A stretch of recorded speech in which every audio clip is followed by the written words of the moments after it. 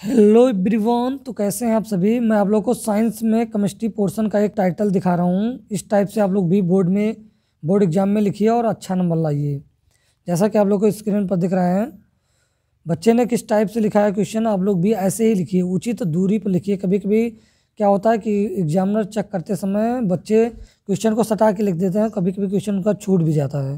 तो आप लोग उचित दूरी बना के लिखिए और एकदम सफ़ाई होनी चाहिए कापी में। जैसा कि आप लोग को यहाँ पर दिख रहा है।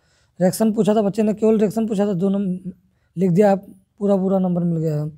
अगला क्वेश्चन धावन सोडा और मीठा सोडा का रासायनिक सूत्र और नाम पूछा था। तो बच्चे ने दोनों लिखा, एकदम बढ़िया लिखा है।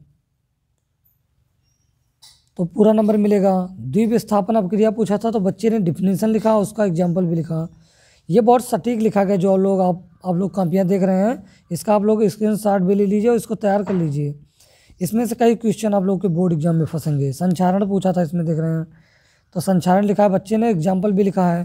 तो दो नंबर पूरे मिलेंगे, इसमें भी नंबर कटने का कोई चांस नहीं है।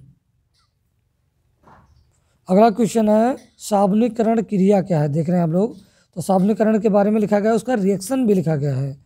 तभी दो नंबर मिलेगा। तो आप लोग भी इसका स्क्रीन लीजिए और इसी टाइप से लिखने का प्रयास कीजिए। रेडाक्स प्रक्रिया बच्चे ने लिखा, उसका एग्ज़ाम्पल भी लिखा है। कि रेडाक्स प्रक्रिया में ऑक्सीडेशन और रिडक्शन क्या होता है? साथ साथ होता है।